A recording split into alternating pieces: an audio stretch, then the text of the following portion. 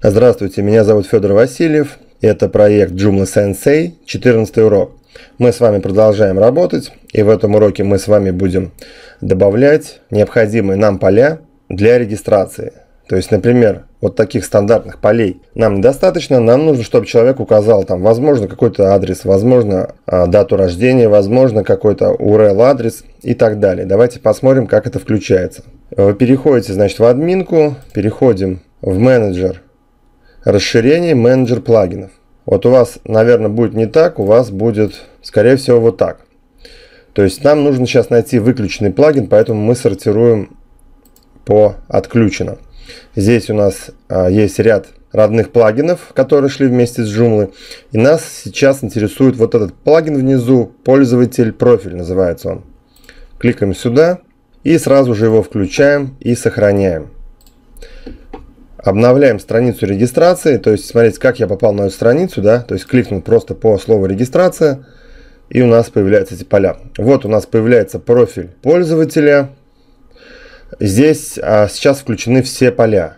Конечно же, вам, скорее всего, все будут не нужны. Теперь давайте пройдемся по настройке. Смотрите, вот, например, адрес, адрес я хочу отключить. Напротив я кликаю отключить, отключить. Все очень просто город, например, я оставляю, но делаю его, то есть необязательное поле у нас по умолчанию стоит. То есть необязательное поле, значит, он сможет зарегистрироваться и не заполняя это поле, то есть по желанию человека. Регион отключаем, страна не обязательно, почтовый индекс мне не нужен, например, телефон обязательно, например, там, где обязательно, то рядом с полем будет звездочка. Это, конечно же, понятно, как вот здесь звездочки идут. Веб-сайт не обязательно. Любимая книга отключаем. Обо мне отключаем. Условия предоставления услуг отключаем. Дата рождения тоже отключаем. Сохраняемся. Обновляем страницу. И смотрим, что у нас поля все сократились. Город написано, видите, не обязательно. Страна телефон обязательное поле, то есть если он одно это поле не заполнит, остальные все важные поля заполнит, регистрация не пройдет. Будет вот так подсвечиваться красным, все поля обязательные, которые. Вот таким вот образом, то, что сейчас мы изменили, видите, здесь есть такой заголовок. И у нас еще есть, видите, ряд полей, они идентичны предыдущим. Э, если я правильно понял, эти поля появляются на странице профиля пользователя. Что за такая страница, сейчас мы с вами попробуем тоже ее сделать. Но прежде я сейчас зайду как админ, запомнить меня. Вот видите, у меня уже написано, значит, админ, пароль, нажимаю войти. Вот, смотрите, видите, меня перебрасывает профиль. И есть кнопка изменить профиль. Изменить профиль. Изменить свой профиль. Так, это у нас идет основная информация, потом основные настройки и профиль пользователя. Давайте сейчас вот эти а, попробуем все отключить. Так, я все отключил, нажимаю сохранить и обновляю вот эту страницу. И вы видите, у нас а, исчез целый параграф, как я и говорил. То есть целый раздел. То есть вот этот вот вторые настройки, вот это поля профиля пользователя для формы изменения профиля. Как раз таки это вот на этой странице после входа э, есть возможность редактировать, добавлять, изменять поля для человека. Если тут вам это не нужно, видите, я сейчас все отключил и их э, как бы нет. Этих полей они отключены. Также давайте изменим свой профиль. Видите, у нас подписано супер юзер. Закрываем здесь. Идем менеджер пользователей. Вот видите, супер юзер. Здесь будет а, находиться список всех зарегистрированных пользователей. Кликаем супер юзер и вот здесь вот меняем на свое имя и фамилию, например. Также здесь можно изменить пароль. Его надо повторить еще раз. Изменить email. Назначить группу пользователей. Мы тут супер администраторы. Об этом еще позже поговорим. И нажимаем сохранить. Обновляюсь.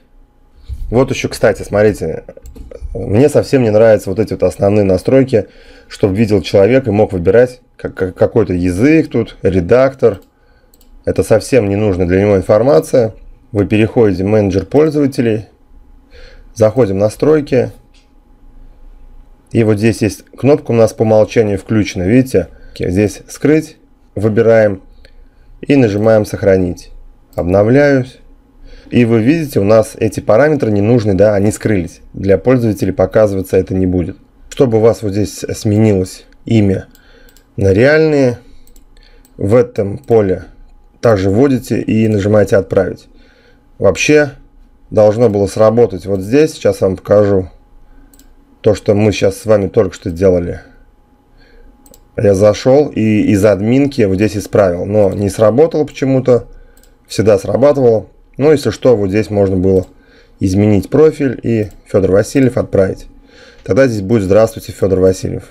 Если здесь нужен «Здравствуйте» и логин человека, вот логин, видите, админ, то надо идти в менеджер модулей, менеджер вход на сайт, здесь показать имя или логин и выбираете. Если я выберу логин, у меня будет показано «Здравствуйте, админ». Так, и теперь поговорим о том, что можно здесь а, сделать в меню, вывести страницу и регистрации, страницы профиля. Например, назвать можно будет ну, страница профиля пользователя и сделать, чтобы было ее доступно видно для зарегистрированных пользователей. То есть все, кто зайдут просто на сайт, они в меню эту страницу видеть не будут. Смотрите, может быть вам это пригодится. Меню, майн меню заходим и создать. Выбрать. Менеджер пользователя, видите, есть категория. И вот здесь есть такие параметры. Восстановление имя пользователя – это то же самое, то, что вы видели ссылки а, в модуле. Вот здесь вот восстановление пароля, регистрация. Вот сейчас выход нажму. Вот эти все ссылки, да, их можно вывести в меню. Я выводить их не буду, здесь и так понятно. Я выведу, вот, например, профиль пользователя. Также можно и регистрацию вывести, и авторизацию на сайте. Кликаем по профиль пользователя. Просто вам покажу, как работают уровни доступа. Так и называем этот пункт меню. Профиль пользователя. И вот здесь вот справа выбираем доступ регистра и сохранить. Обновляю страницу вы видите, пункт меню не появился, потому что я сейчас как гость. Я авторизуюсь, и у нас появилась, видите, ссылка профиль пользователя. То есть ее видят только зарегистрированные пользователи. То, что им нужно, в принципе. Кликаем профиль пользователя. Это нужно для того, чтобы человеку дать возможность после, когда там у него будет время или он захочет, внести изменения в свой профиль. Он кликнет на кнопку и сможет, например, сменить свой пароль, сменить свой email и а, дополнительные поля, которые я отключил, также их можно включить, чтобы они были доступны для редактирования. Также, если вас интересуют другие поля из категории менеджер пользователей, вы можете создать пункты меню и назначить родителя вот этот пункт меню, чтобы они были как бы под, под пункты. То есть можно сделать еще и так. В принципе, на этом все мы с вами закончили модуль регистрации входа, посмотрели, какие есть настройки. Конечно же, в сети всевозможные есть изобилие всяких модулей для регистрации входа. Там вообще есть во всплывающем окне авторизация, то есть экран затемняется, всплывает форма, то есть очень много всяких бесплатных модулей красивых которые может быть заменены вот этими стандартными, да, там много чего есть. Вплоть до такого страницы внутренней как э, профиль пользователя не такой убогий, а там можно и аватар добавить, переписку вести, э, какие-то всевозможные страницы создавать, э, внутренняя переписка между пользователями существует там. Это все отдельно можно установить на сайт Joomla. То есть я вас просто готовлю к тому, что не думайте, что здесь вот так вот все скудно и убого, и все на этом закончится. Это все просто база которую вам нужно знать перед тем, как э, изучать дальше все это дело. То есть на самом деле здесь можно сделать все намного красивее и мощнее. На этом я заканчиваю этот видеоурок и увидимся в следующем. Позвольте подарить вам подарок. Если вы только начинаете свой путь с Joomla, или вы уже матерый вебмастер, вы рано или поздно задумаетесь о самом важном это внешнее отображение вашего сайта. Другими словами, шаблоны. На просторах Рунета вы сможете просто утонуть в изобилии красивых шаблонов. Но Есть большая опасность получить вирусы прямо с шаблоном, тот, который вы скачаете. Крайне нежелательно качать шаблоны с неизвестных источников. Я хорошо поработал и собрал для вас базу из 55 качественных и красивых шаблонов на любую тематику. Все шаблоны чистые, без ссылок и вредоносного кода. Гарантирую в 100%. Все шаблоны были скачаны мною лично, напрямую у разработчиков. И я все упаковал в один архив. К каждому шаблону приложил ссылку на демонстрацию шаблона. Так, чтобы вы всегда могли сначала посмотреть на шаблон во всей его красе и выбрать то, что вам понравилось. Все это я сделал для удобства. Итак, как получить все шаблоны целиком? Да очень просто.